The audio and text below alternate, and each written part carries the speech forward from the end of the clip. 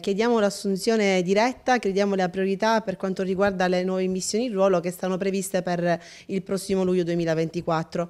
Siamo qui oggi in rappresentanza, sono qui con le mie colleghe, siamo in tre, ma in realtà siamo 536 persone in graduatoria. Noi siamo ex Idonea Infanzia 2016, eh, siamo state scavalcate da un concorso straordinario del 2018, siamo state messe in coda a questo concorso eh, aspettiamo il nostro turno pazientemente da sette lunghi anni. Eh, adesso è arrivato il nostro turno, ci sentiamo eh, minacciate da questo nuovo concorso che è alle porte, che sta per uscire, per cui chiediamo al governo di ascoltare quelle che sono le nostre richieste. Siamo madri, siamo eh, donne, siamo padri, genitori che abbiamo comunque lottato, fatto sacrifici ci portiamo alle spalle speranze e tante delusioni. Vogliamo l'immissione diretta, vogliamo la priorità e questo è quello che oggi veniamo a chiedere qui.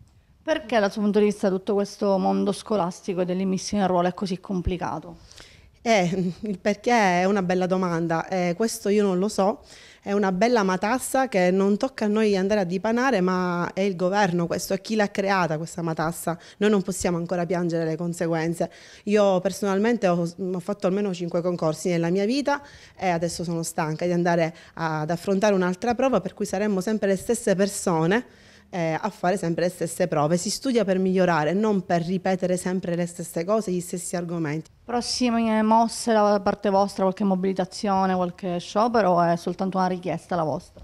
Si vedrà, dobbiamo vedere quelle che sono le decisioni che vengono dall'alto. Siamo fiduciose comunque che queste decisioni siano positive a favore nostro, poi si vedrà.